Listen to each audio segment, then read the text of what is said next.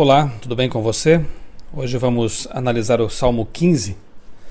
Ontem, no Salmo 14, verso 3, nós vimos que aquele verso afirma que todas as pessoas estão corrompidas e que não há quem faça o bem.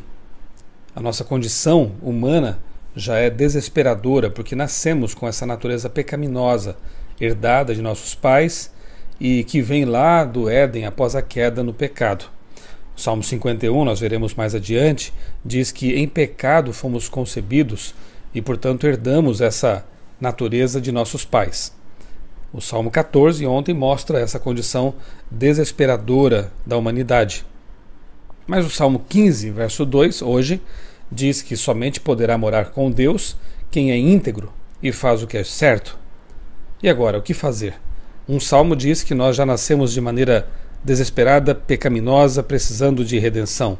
O outro diz que somente verá a Deus, somente poderá morar em Sião aquele que faz o que é correto, aquele que é íntegro.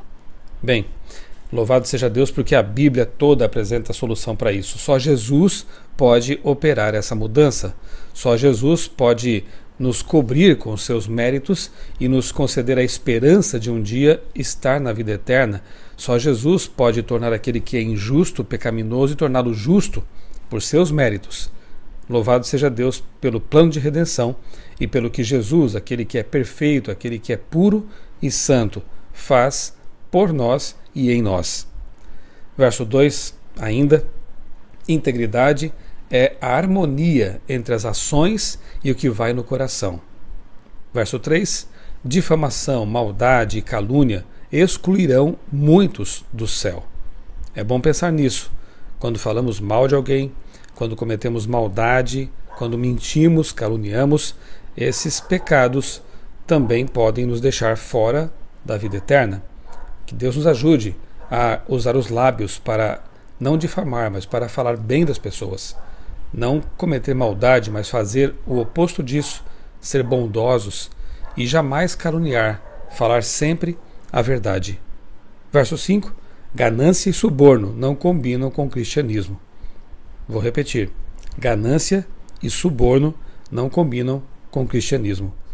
Que Deus nos ajude a manifestar as graças, manifestar as qualidades, virtudes de uma vida verdadeiramente cristã. Que Deus nos ajude a manifestar em nós o fruto do Espírito.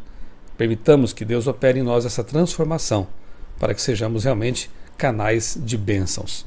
Eu sou o pastor Michelson Borges, desejo a você um dia muito feliz e abençoado na companhia de Jesus.